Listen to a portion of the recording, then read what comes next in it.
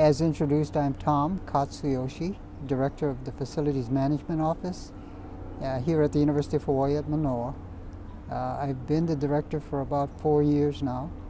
Uh, we manage the buildings on our campus, um, including buildings at JABSOM Kaka'ako, the uh, Waikiki Aquarium, uh, Lyon Arboretum, buildings at Coconut Island, as well as um, the observatories on Mauna Kea and Haleakala. And uh, primarily Manoa is our busiest focus, but um, we are managing some of the projects up there as well. Very nice. Now, today we're actually going to talk about something that you do outside of work, something that you're kind of interested in, that you've done in the past, and when you retire, you even talked about trying to write a book about it. Yeah. Yeah. Um, actually, I was I was born in uh, 1939, um, and about two years later, World War II began right here in Hawaii. I was born here in Hawaii, and um, when the Japanese attacked Pearl Harbor, um, I guess it, it was the beginnings of turning my life upside down, only because um, uh, I was very troubled as a child, um, couldn't understand what war was, and um, I remember many a time um, my parents uh, rushing us when the, when the sirens would go off, rushing us to the bomb shelters and um, uh, either that or if we didn't have the time, just threw us under the beds and we'd all crawl under the bed and cover ourselves with blankets and, and quilts and so on. Um, and it was traumatic for a child, I think, at least for me. Not so much that part because it was exciting, but uh, when I saw a lot of my neighbors' sons coming home in coffins, flag draped coffins, uh, really affected me. And, um, and seeing my neighbors, the, parents of those sons, uh, grieving over their lost sons, um, it was very traumatic. Um, and I used to ask my mom, why do we have to fight? Why do we have war? And uh, it was just a, question my mom couldn't answer. Um, she said that's just the way it is. And um, uh, so when the war ended, I guess I was I was just elated. I I, I can remember just running around and screaming and yippee yippee the war's over the war's over, and uh, sadly in 1950 North Korea invaded South Korea and once again we were at war and now learning how to protect ourselves against a nuclear attack and so on, uh, how to dive under the desks at school and and cover yourself. Uh, so uh, once again, uh, the trauma began, and and at that point, I just I just made a vow as a child that I would I would do everything I could somehow to help um, bring peace on this earth, and um, and there was there was a quest ever since, and it still is. Um, um there's some differences along the way, but um,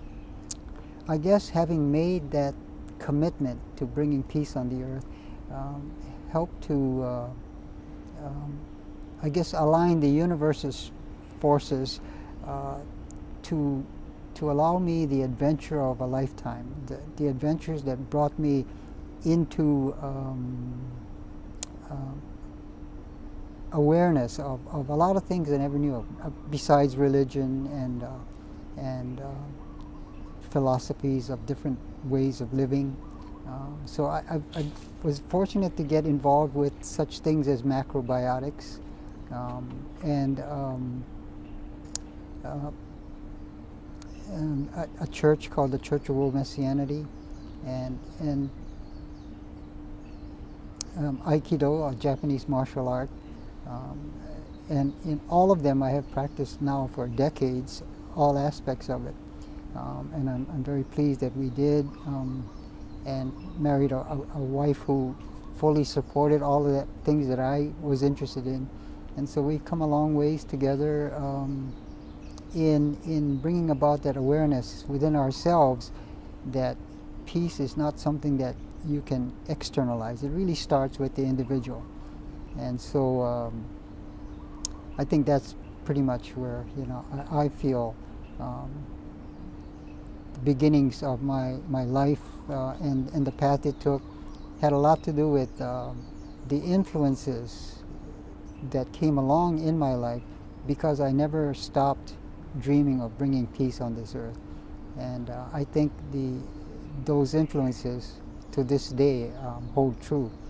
Um, Erwin Miller wrote uh, in The Tropic of Cancer, confusion is a word we ascribe to an order we do not understand. And, and I really believe that the message there was an order. There is an order, a, a, a massive order that is so beyond all of us, but it is always in place and it is in perfect harmony with bringing about that peace that I sought. Uh, the only thing is because we have been bombarded with information that we've kind of lost sight of, of how to achieve that peace. Um, as an example, uh, uh, about 50 years ago, if you said to someone, I'm not feeling well, um, let's say you said that to 100 people, all 100 would tell you, you better go see a doctor.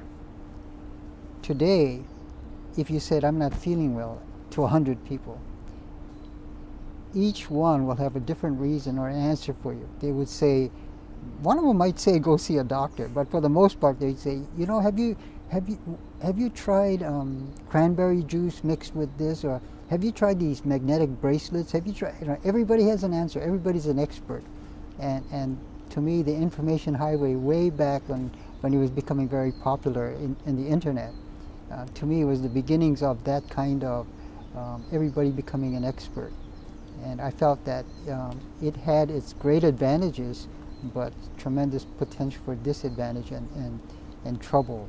Um, and I think that's where our society is today. Everybody's an expert. Nobody listens to anyone else. Everybody thinks they know the answer.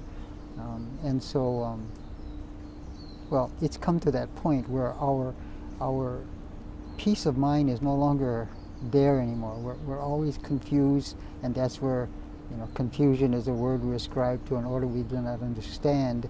Um, it's, it's really that the confusion in the world uh, is, is just too much information and too much willingness not to just sit still and listen and, and watch nature instead of just you know trying to overcome nature as we tend to do and so in the in the in the field of macrobiotics which is basically a vegetarian diet but based on a very traditional ancient Chinese philosophy um, I, I, consider it to be one of the most beautiful of all diets and um, the basis for um, good thinking, good judgment. Macrobiotics basically says um, the food that you eat becomes the blood in your body. So I say if you eat junk food, you will have junk blood. If you have junk blood, you'll have junk body cells. If you have junk body cells, you'll have junk brain cells. If you have junk brain cells, you'll have junk thinking. And if you have junk thinking, you'll have nothing but misery and confusion. Reverse that. Good food, good blood. Good blood, good body cells. Good body cells, good brain cells. Good brain cells, good thinking. Good thinking brings good judgment. And over a period of years, good judgment brings wisdom. And that's what we would all like to be when we get old. We like to be wise old persons as opposed to confused and messed up people who are who are you know just hooked up to things uh, because that's what we always get caught up with the latest fad the latest interest and so my direction is is mostly so the fundamental of all of these things is the food we consume we need to eat the right foods and all along I thought food was food and everybody's telling us you know, everything is good. So enjoy the food you're eating and eat, you know, nutritiously. But then the, the key to nutrition is really how we grow our food. And, um, and that's, that's my interest now.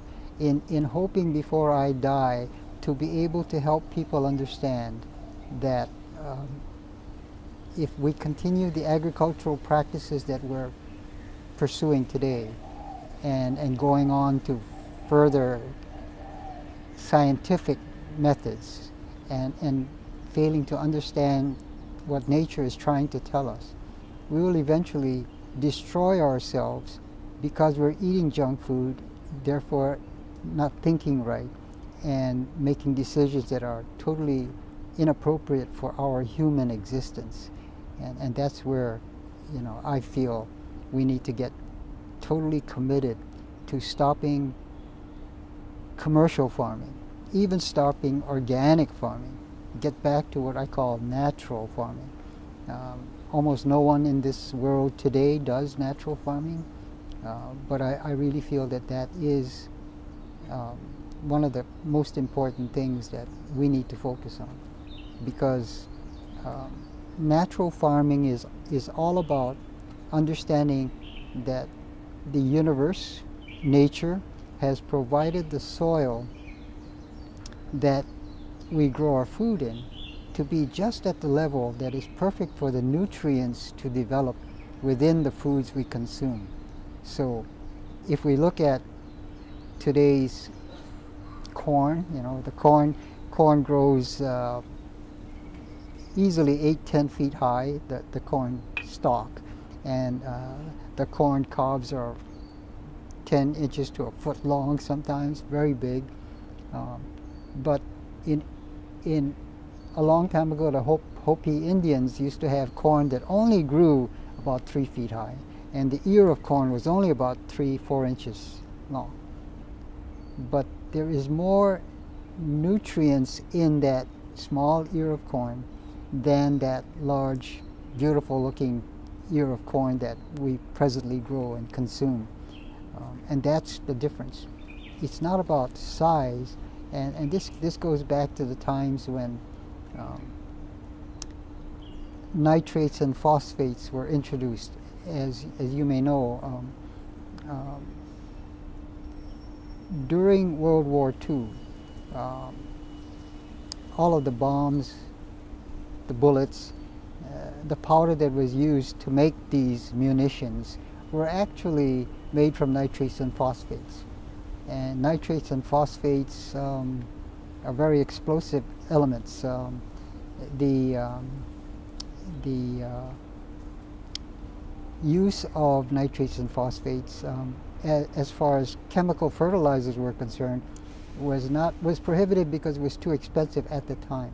But when World War II ended, when World War II ended, this is when nitrates and phosphates, uh, the surplus of that, because we didn't need to make bombs anymore, uh, was finally um, in abundance and very cheap. And so the farmers of the time started to use that. They could purchase it cheaply and they started to put it into their land and their corn crops grew and their, their legumes grew. Everything became um, a lot more um, uh, profitable for the agriculturalist, the farmer. Um, if you had an acre of land and grew corn on that acre of land and it produced 100 bushels, uh, that's the way it was. But if you put nitrates and phosphates in and it produced 200 bushels of corn, from that same acre, you double your yield, double your profit, double everything using the same piece of land. But all you did was put these nitrates and phosphates in to make uh, the bushels of corn uh, more abundant as well as even again bigger. Um, and so if you go by volume and weight, you're saying, wow, I'm making good money off of this stuff. Um, just putting these nitrates and phosphates into the ground. And that's where the confusion again comes when people start to think profit becomes the most important thing. What we don't realize when we put nitrates and phosphates into the ground is that we're putting acidic, very acidic chemicals into the ground, which in turn kills off the microorganisms in the ground. And people don't aren't aware of it, they don't think about it, but the microorganisms are critical to the soil to produce the trace minerals and other elements in the soil that are that are basic to plants being able to use their photosynthesis process to to put the nutrients in the vegetables and, and fruits that we, we consume. And not knowing that, we continue to put this stuff in. But there was a, um, an article in a book called um, um, The August Celebration by Linda Grover. And um, in that, she writes about how in 1948, um, they did a test on 100 grams of spinach and found that there was 153 milligrams of iron in that spinach. Then in 1965, they did a same test of that um, 100 grams of spinach and found that there was um, 27 milligrams of iron. And then in 1973, they did another test on 100 grams of spinach and they found there were 2.2 milligrams of iron in that 100 grams of spinach. So what Linda is saying, Linda Grover is saying, you would have to eat 75 bowls of spinach in 1972 to get the same amount of iron that you would have gotten in one bowl of spinach in 1948. So what that's telling me, at least from what I'm reading, is that the more we have come this distance in time in putting these nitrates and phosphates into the ground, the more we are depleting the soil of the microorganisms that are so vital to providing the nutrients that are necessary for the plants to make the nutrients we need in the food we're consuming. And so um, this was very evident back then, and everyone knew that there was a, uh, a situation that wasn't good, but everybody was just so wrapped up in profit. Um, even in the 1800s, there was a, a, a, German, actually he was a miller to start off with, but he, he became a very famous um, agriculturalist. He said that uh, the best way to farm is just using natural land. And he said, uh, of course, being German and from the Bavarian area, he saw how the, the mountains, you know, eroded eventually and, and created this, this fertile valleys and and he said that there were only bees, butterflies, and, and insects that could pollinate plants.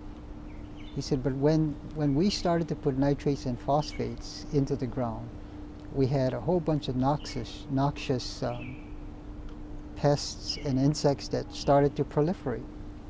And, and, and they started to consume the vegetables that we would consume and that was right. Nature was already providing for us, protecting us from eating that food that wasn't nutrient rich but nutrient deficient by letting these insects and pests proliferate. And instead of just accepting that understanding, what did we do? We decided to create pesticides, and so we killed off the pests. In fact, even herbicides, before when the weeds started to come up, and because the nitrates and phosphates were um, so acidic and was killing off everything in the ground, in the soil, um, the plants were unable to grow well and therefore um, erosion would start to occur. And so to protect against this, we started to we, we started to do herbicides. I mean, that's what would come up. The weeds would come up, not the plants. And so to kill off the the weeds, we, we developed herbicides.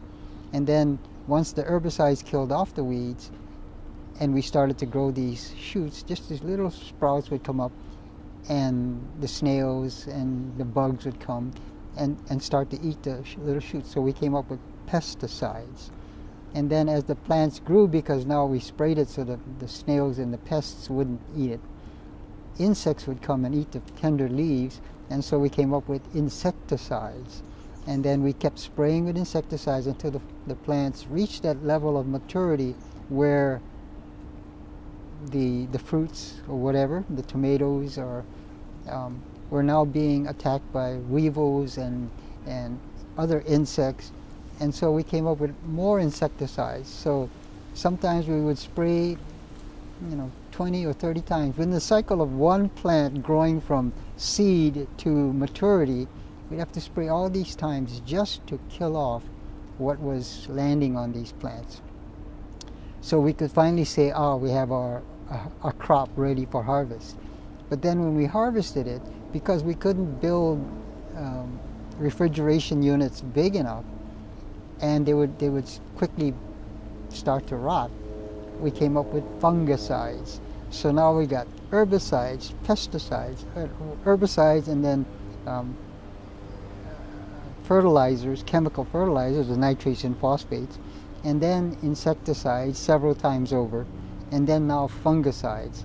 So we put all of this onto the food that we're consuming, and now we're finding that that's what's killing us. We're killing the insects as well as ourselves because we're just spraying the heck out of these things and not knowing that at the same time the nutrients in the food are no longer there for us.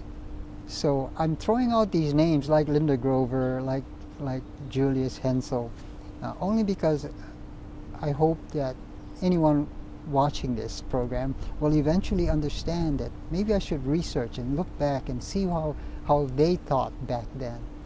But in Julius Hensel's case, he was, he was treated very poorly by the chemical corporations that were making chemical fertilizers. And, and they just made him, they ran him out of business, even though he was just advocating a natural way of growing our crops. And, and, he, and he proved everything, but again, the powerful moneyed few can do a lot of damage to people who really care. And so that's, that's been a, a, a situation that's ongoing. In fact, the green revolution that we talk about during that period, right after World War II, really occurred because of the nitrates and phosphates being pumped into the ground. This, in turn, um, created not only huge amounts of food, but also surplus of that. Um, corn, wheat, soybeans, sorghum, and all of this was so abundant that we started saying, well, we got more than we need. Why not feed it to the chickens and the hogs and the, and the cattle that we're growing. And so we didn't need any more to have grassy range where the, ca the cattle would be put out there. Uh, they would just stay in feedlots and we would just feed them this excess corn that we had. And everything was going well except that the animals eventually started to become were unable to reproduce. The hormones weren't there anymore. And the investigations at that time focused on perhaps the cause was the food that they're consuming, which would be a logical thing. Um, and when they started to look at the sorghum and the corn that we were feeding these chickens, hogs, and cattle, they found that they were a little nutrient deficient. And that's the reason for the cattle not being well. Now, if they were out eating wild grass out there, they'd be perfectly fine. In fact, that's what they were always intended to eat, as nature had provided. But now we're changing their diet. We're giving them not grass, but corn and so on. Not only that, but when, the, when they found that the, the cattle and the chickens and hogs were growing fatter and ready for market, you know, that of course is more profit because they, they're sold by weight and volume. So this was another exciting thing for the cattle ranchers and so on. So they they were all out to prevent anything from changing this situation. Even though some scientists were saying we gotta we gotta stop feeding them this this stuff because they they're lacking nutrients and so they're not reproducing. But somebody at that point came up with artificial hormones, and they they injected the animals with that, and so they could reproduce. Given that ability, everybody forgot about letting them continue to eat this nutrient deficient corn and so forth. Uh, this ultimately comes to the point where now um, uh, the animals were doing okay except that they were be becoming ill and, and dying. And they, they were very concerned about that until somebody said, let's try antibiotics on them and they tried antibiotics. And suddenly the animals came alive. Now they were reproducing and were okay health-wise. On top of that, the antibiotics made them bigger and quicker ready for the market. So every which way you look, the, the introduction of artificial hormones kept, kept the animals reproducing and antibiotics kept them from getting ill and dying. And that's all they needed to keep the industries booming. And, and, it, and it has ever since. What we don't know is that we're consuming beef and chicken and pork that is not very healthy for us because it's not, if the cattle were eating range grass and range fed, I think we'd be better off. Um, but we don't know that. We, we just we just accept things in the supermarkets and just keep buying them off the shelf and out of their refrigeration uh, cabinets. And so once again, we're looking at a situation where money talked and profit talked and business talked and, and our health was going downhill further. And so the, the food we're consuming, in fact, um, it, it, it's become such a situation that a lot of doctors are saying a lot of our antibiotics for our own use are no longer effective because we've developed an immunity against that very thing because we are consuming so much meat products that are full of antibiotics that it, we need to we need to strengthen the antibiotics that medical sciences or, or the the drug industry is you know, is putting out there, and so it becomes a um, a cycle of endless search for for an answer. But we're going further and further away from it. I would say that degenerative diseases and non-degenerative diseases are rampant in our in our society today. It's almost epidemic. Degenerative diseases are heart disease, cancer, AIDS, and so forth. Non-degenerative diseases are the cold, the flu, but even that has become a real um, problem for for all of society, and and we don't understand why, and that's because our bodies are not capable of our immune systems. We have a number of systems in our bodies. The immune system, the nervous system, the cardiovascular system, the pulmonary system, uh, the nervous system, uh, the glandular system, the dermal and epidermal system, the skeletal system. We got a whole bunch of systems. All of those systems, in order to be functioning properly, need nutrients, the food we consume. And if the food we're consuming are lacking nutrients, as has been shown by Linda Grover's study of spinach going from, you know, 158 milligrams down to 2.2 milligrams in a span of less than 20 years or 30 years, that says something about are the foods we're consuming nutrient rich? And I'm saying I don't think so. I don't think so because we're just putting these chemicals into the ground. Rachel Carson wrote the book The Silent Spring, and um, and she describes how springtime was full of life on the farms and the fields everywhere. On the farms today, I, I remember when I was uh, living in Illinois, and my roommates would take me up to their farms in northern Illinois. Uh, we milked the cows and we plowed the fields and and um, when we did plow the fields, birds were following our tractor to, to land and eat the grub and, and worms, earthworms that we were plowing up. Today, I would say if you go to many of the farms in the Midwest, you can plow a thousand acres and you won't see birds around. You can kick the sod, you won't find any grub and earthworms. The silent spring is very silent because nature has been killed off by the nitrates and phosphates. By the way, the nitrates and phosphates that are presently used for chemical fertilization all over the world now were the same nitrates and phosphates that Timothy McVeigh, the Oklahoma City bomber, um, the Murrah building that was exploded, I don't know if you remember that, but um, he used chemical nitrates and phosphates. He just got a bunch of agricultural fertilizer and hooked up a bomb together and blew up the building and killed so many hundreds of people. All I'm saying here is that that's the same stuff. It's killing us physically through bombs and bullets, but it's also killing us because it's not providing, it's killing, stopping the nutrients from being available to us to for the foods we're consuming.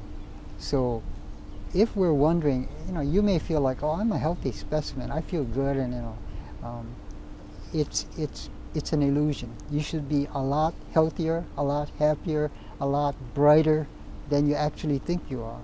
Um, but we don't know that because we're just used to our average and our norm every day of our lives as, as we live it. It should be better than that. Definitely. But this is why starvation in world, parts of the world is a result of all these kinds of silliness that we're doing, all for the sake of profit. And, and that's my concern. And I've, I've, I've tried to teach people about this, and um, the people who have listened have felt strongly that I was on the right track, that I, I was speaking truth to them. Um, but I'm just one voice, and I just need for more people to to become aware of, of, this this almost to me it's going to be a calamity if we don't change the situation soon. So so our systems in our bodies need nutrients. And that's the only reason why our systems are failing. Why we have degenerative and non-degenerative degenerative diseases proliferating. Because we just don't have the nutrients in our body. If we did have the nutrients, our immune system would be strongly in place. But when that starts to fail because we're not getting the nutrients, then everything else fails. And our systems become weakened and prone to all the problems that we're presently facing, physically, health wise. Definitely. Now, how do you see? I mean, obviously, the, the nutrient side of natural uh, farming, but how do you see that being implemented and how, how does that work? Do you just have seed in hand and throw it on the ground and let nature take its course? That's, that's the way you're supposed to do it. Here's the thing I think the only person that I know of that developed it into a more scientific way of doing it was Masanobu Fukuoka, who wrote the book One Straw Revolution. Um, and he was a, a, scientist and basically a guy who dealt with um, chemicals and, and fertilizers uh, until he got disgusted with it and then turned to finding a natural way. Um, so yeah, we put seeds into the ground, we, we poke holes into the ground and we put seeds in and we bury it. Uh, and that's because we don't want the birds to come and eat them. Um, so we're saying that's, that's the best way. But what we don't realize is that nature doesn't do that. Nature is a pot of seeds and boom, and the seeds are cast onto the ground. And that's where it is. It's just cast to the ground. If we do the same thing, spread it on the ground, we should get the same result. Yeah, let the birds eat 90% of it, but if you get 10% that germinate and you know really become a plant or a vegetable. That's what you want. And if the vegetables have to fight with other plants in the area or weeds or whatever, um, that'll make them even stronger and healthier if they survive that. But what we're trying to do now is, is we plow the ground, we do all these things that, to me that is totally unnatural. And, and so the so all I'm saying is we should now find soil and this is the key, okay? Why did I say at the beginning um, th there's a difference between um, commercial farming, organic farming, and natural farming? Commercial farming is all that I've just described, you know, chemical fertilizers, insecticides, pesticides, herbicides, fungicides. That's commercial farming. Organic farming wants to avoid the dangers of chemicals uh, polluting the grounds and the earth and killing us at the same time. And so they've gone one step less than that by trying to avoid, but they're still trying to mess around with the soil. They're still composting and they're, they're trying to, in their minds, uh, put nutrients into the ground. Natural farming, just using natural soil. If you look at natural soil and you, you um, analyze it, um, some, I think University of Arizona or one of the schools did a study and they said um, 1 to 5% of the soil should be microorganisms. These are organic matters, microorganisms. 99 to 95% of the soil should be soil, minerals. And that is natural soil. And when the soil is natural at that level, it will provide all the nutrients in the vegetables that grow. I'm not saying we have to avoid you know, scarifying the ground and putting the seeds in the, in the ground. I'm just saying use the natural soil. Do not put compost into the ground. Why? Because when you do that, you're adding more microorganisms. So instead of the 1 to 5% of microorganisms, the more you, you mulch into the ground all this compost, the more you're going to have microorganisms. So that the balance of 1 to 5% of microorganisms is now exploded to a lot more and the soil ratio now is lessened from 99 to 95 percent of minerals to whatever that ratio would be and that's the danger of this this the development of what's happening now is that we're, we're putting in uh, all these organic matters into the soil and reducing the ability to, to get the nutrients we want in the vegetables we're growing.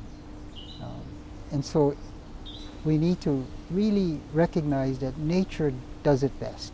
Nature knows what is required. And we should be very careful of when and how we do mess around with the soil, basically. So when we look at um, um, the the composition of the soil and how naturally things are done, even if we plow, we should be careful to understand that there is aerobic bacteria and anaerobic bacteria.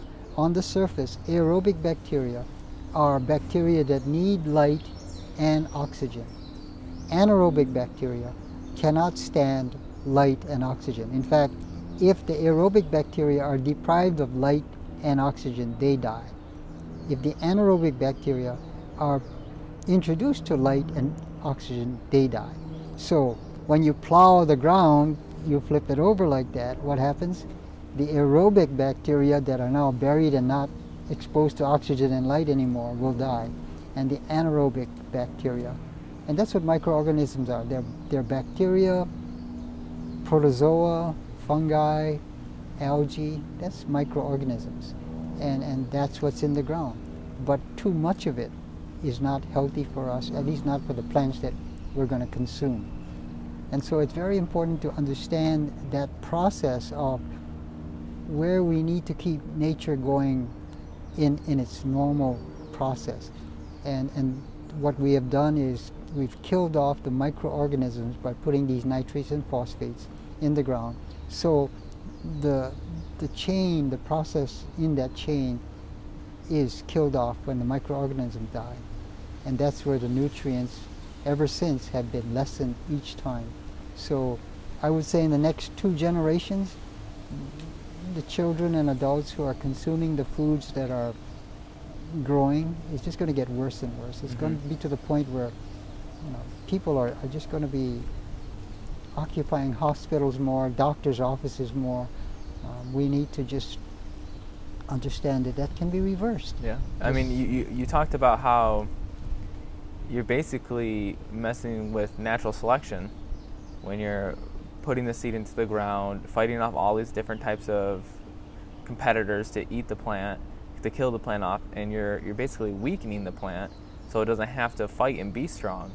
Instead of taking your approach where you know it, it's random selection of if the seeds get eaten or not, but then when they start to grow, you know they have to learn how to defend themselves and grow to be stronger, and in the long run develop a more nutrient plant for us or for anyone, you know. So um, the the thing I see is how does that affect the yield of crop and how does that affect profit? And you know obviously there's the economic point of view for the same type of situation.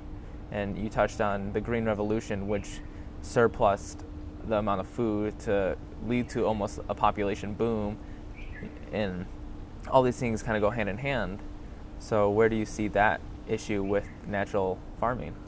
Well, that's where I'm going to leave it to the next generation. I, have come up to the point where I'm telling you these are the problems, you figure out the solution. And, and I'm, I'm just, you know, I do have ideas on it, But I I think that's what will happen if everyone, not everyone, but if, if a few people start to, to grow their own vegetables and refrain from wanting to see the juicy, beautiful eggplants, tomatoes, and so on, um, that's the key. I mean, I've grown natural carrots. I've seen people grow carrots that are real beautiful carrots. And I, my carrots are about that big, scrawny, and, and all kind of gnarly. But I'd rather eat that carrot and the flavor of that carrot than this big carrot that has a slight flavor of carrot. And it, there's a huge difference. And the sweetness of it and everything, you just can't understand or believe until you try it yourself. Yeah. And so I'm saying, I'll eat this way. I'll try to make the most of what I can to make my life uh, a healthier and better existence.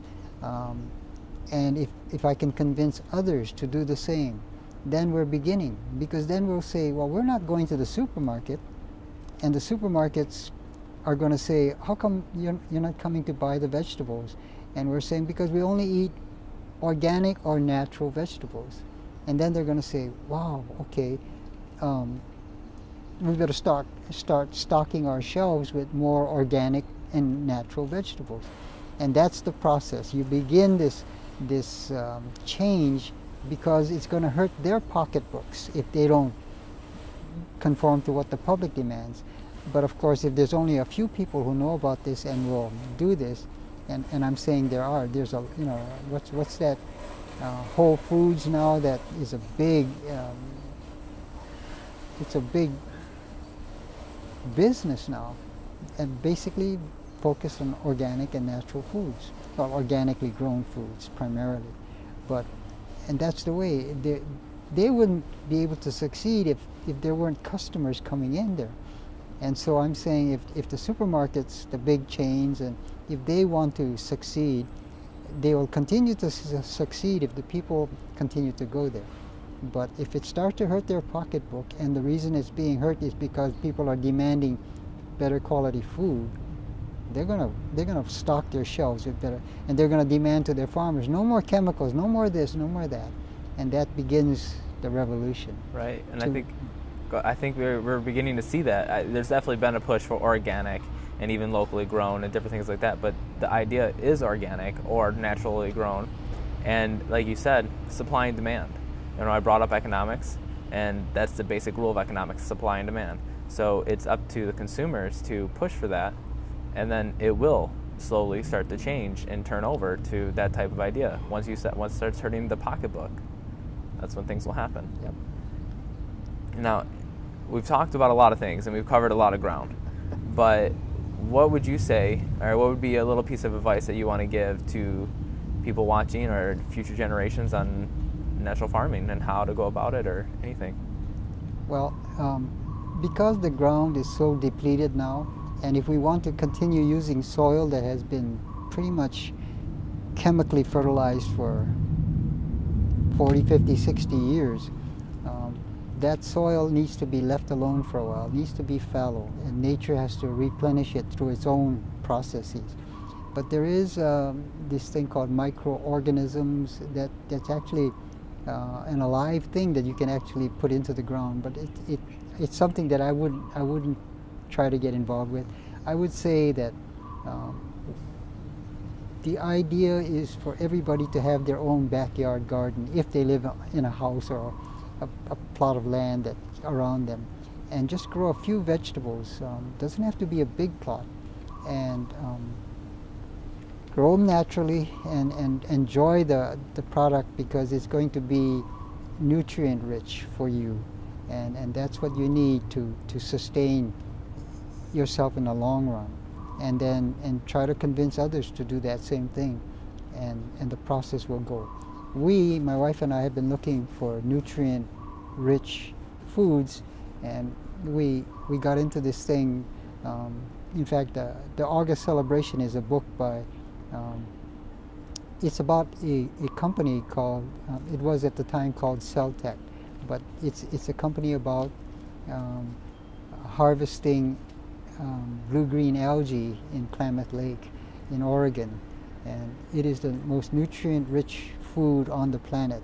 And um, it has the nutrient, the nutrients are vitamins, minerals, trace minerals, amino acids, proteins, enzymes. That capacity of a wild natural food having all these nutrients and it's just an algae blooming in, in Klamath Lake is an amazing thing and so we we buy that and, and consume it uh, on a daily basis because we don't have we have a small garden but if we want to really know that we're consuming something with nutrients in them that's what we do we, we consume this algae Yeah. and um, and it's it's been a, a major shift for us um, Yeah. by doing that. We we feel a tr- tremendously more alive and, and energetic and healthy and you know even at my age at 73 I, I still enjoy practicing Aikido and and um, doing all the things that I feel most people at my age wouldn't be able to do. And I mean practice. Most people at my age who are still in Aikido, they kind of strut around and just look and just talk uh, and, you know, whatever. But I get in there and I work with the students. I want them to throw me and I want to throw them and I want them to know that a skinny old man like me can still dish it out. And they're amazed and they think, oh, this old man can really do this stuff. But it's not because of any physical strength but it's, because of the quickness of my mind because i'm alert and, and alive because i'm eating the right foods and, and you know still having this presence about me that i know uh, is is the result of the food that i'm consuming Great.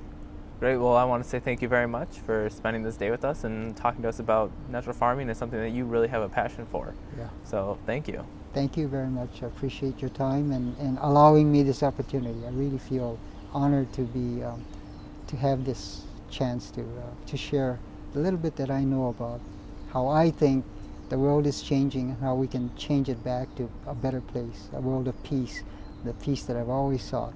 And i feel that i found it within myself and i can only say i couldn't bring peace in your hearts until you want to bring peace into your own heart.